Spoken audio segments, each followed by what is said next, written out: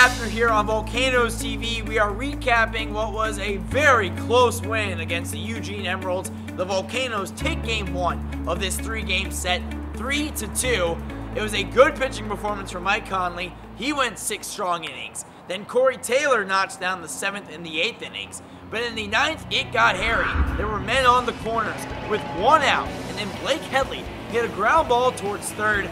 Vizcaino Jr. was able to somehow get the ball towards second to make a double play.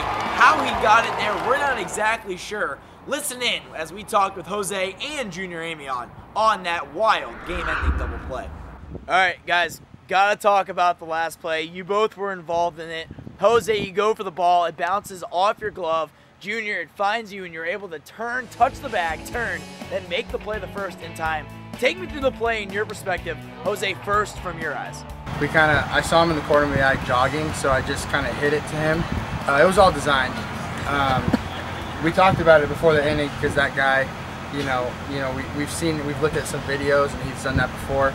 And so I just kind of hit it on the ground right to him. He had his hand out and I saw it, so he caught it and returned the play. So. All right, Amy, on your side of the story. My side of the story, I'm just running to the bag because I see a hard ball. So, the right, right. the field, I just see a ball bounce at me, so I just touch the bag and throw it to first base, and then the guy was out. Have you guys been a part of a double play like that to end the ball game in a big situation? To you now two games above the Emeralds. That's a big play in the game in the ninth inning. Yeah, I mean, you just gotta want the ball, and in that that position, you know, I saw the ball go up, and I was all over it, and like I said, just you know, swag it out and deflect it at him. Both of you guys each got on base three times today. Uh, Jose, we'll start with you first. Anything extra special going on today, or just another game at the park?